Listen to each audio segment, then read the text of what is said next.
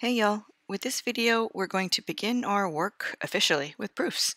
Uh, so a proof seems intimidating when you first start off in, in math, um, but it's just a, an argument, that's really all it is. And it's deductive because you uh, have to back up what you say with facts. Um, and there are different approaches to proofs, they're called methods or types of proof.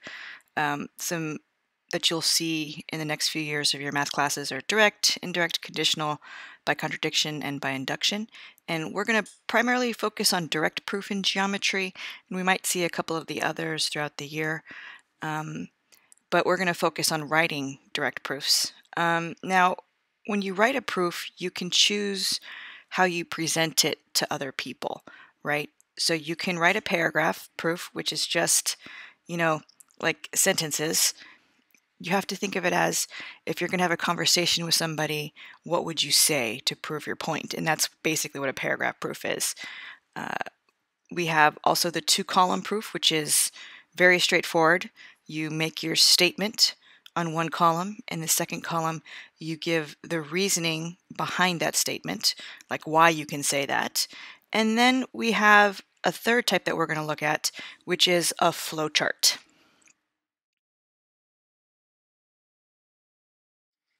Now, a flowchart is something that people actually use in the real world, uh, especially people who um, have to write instructions for things or code. Uh, and basically, it's just a concept map that shows all the steps in a procedure in the proper order. Okay, and we use arrows uh, to show the flow of the reasoning or the steps. And we can use these to diagram our proof or to actually be a proof.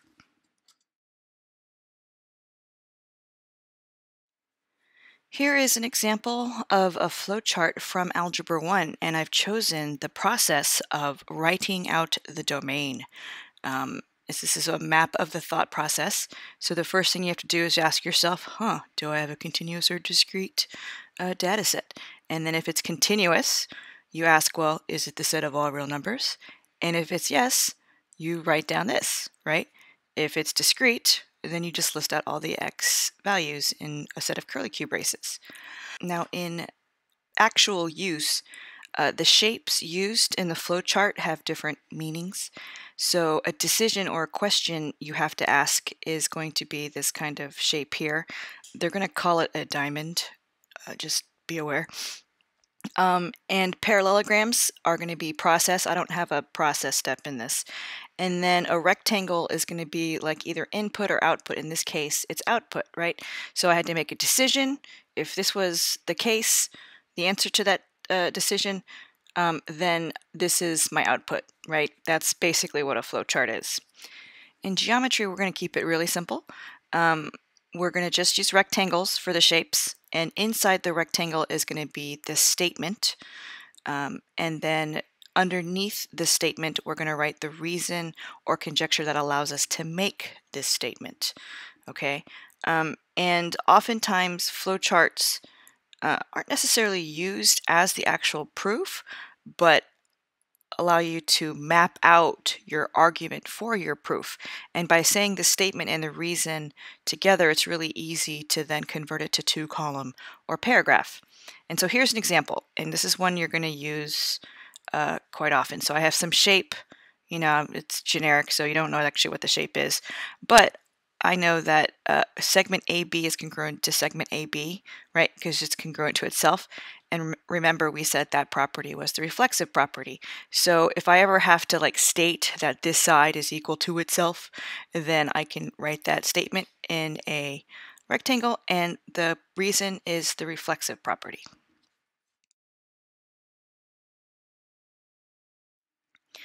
So now let's actually try our hand at creating our first proof. Um, I have uh, been given triangle ABC with side AB congruent to BC, and BD is the angle bisector of angle ABC, and I want to prove that BD is a median of triangle ABC. So first off, um, general strategy tips. Um, this is the number one strategy for geometry, is if a picture has not been given to you, you draw it and you label it Okay. Uh, second thing, uh, and this is kind of a new thing for us, after all the triangle congruencies, you're going to actually look for congruent triangles because you're going to get a lot out of it. Okay, so let's uh, have the picture drawn first. All right, so I have my picture. This is all of the information has been marked. I have triangle ABC. BD is the angle bisector. I've marked those two angles as congruent, and I've labeled them angle 1 and angle 2 just to make my life a little easier later on. And then I've marked side AB congruent to BC. Now, I'm going to think about what I have here. Well, I know I've got a lot of stuff here. I can take many different approaches to show that BD is a median, but I'm going to take the approach first that I'm going to look for congruent triangles. And I'm going to start with what I'm given. So I know that AB is congruent to BC. Okay, so this is one of the things that I've been I've been given. Okay, and I also know that uh, BD is the angle bisector of angle ABC, right? And I also know that this line segment BD is congruent to itself by that reflexive property, right? So I have these three facts that I know. This was given, this was given, and this I can prove by the reflexive property. Well, these three pieces give me a side, almost an angle, and decide. I don't quite have an angle yet here because I can make a conclusion from this, right? If BD is the angle bisector, then I know, by definition of angle bisector, that angle 1 is congruent to angle 2, right? And so now I have a side, an angle, and a side, and I can say that triangle ADB is congruent to triangle CDB, right? Oopsie, gotta flow. And then from there, I have these triangles congruent and so what I'm looking for, if I want BD to be a median, I need AD to equal DC. And I can get AD, line segment AD congruent to line segment DC by corresponding parts of congruent triangles are congruent, right? CPCTC. And then I know if those two point those two line segments are congruent, that D has to be the midpoint of AC. And if I know D is the midpoint of AC, then I know, by definition, that BD has to be the median. All right, so now that I figured out the way my argument is going to flow, it's time to turn this into a proper flowchart and turn that flowchart into an actual proof. So in order to do that, I got to add my arrows, right? So I have AB and my reasons, right? AB is congruent to BC, this was given, right? And BD was an angle bisector, was also given. And BD is congruent to BD was reflexive, right? So now I'm going to put my arrows in. So I know that this BD angle bisector is what allowed me to say that angle 1 was congruent to angle 2. And then I know that this uh, given AB is congruent to BC, and that angle 1 is congruent to angle 2, and BD being equal to itself, all flows in to the argument that triangle ADB and triangle CDB are congruent by side angle side, right? And then, of course, this flows into this, AD being congruent to DC by corresponding parts of congruent triangles being congruent and this flows into that. Uh, D is the midpoint by definition of the midpoint. And I know that this, uh, D being the midpoint, makes BD a median, goes uh, flows into this final argument, this conclusion, I should say, uh, definition of triangle median, right? And so this is my flowchart proof.